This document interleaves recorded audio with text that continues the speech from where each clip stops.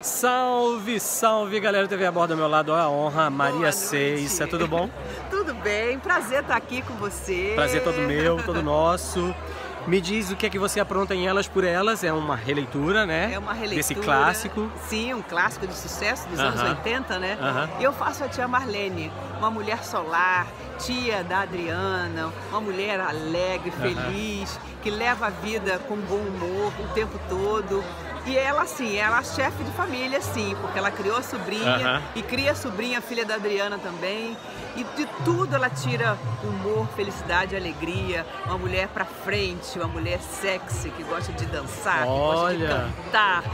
E também guarda um segredo muito grande da Adriana que a gente vai descobrir depois.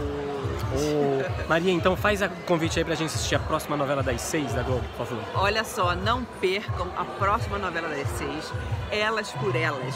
Uma novela diferente, um bom humor, uma lindeza para toda a família. Com Maria Seissa e, e grande elenco a partir do dia 25. 26 de setembro. 26, isso aí. Beijo, obrigado, boa sorte.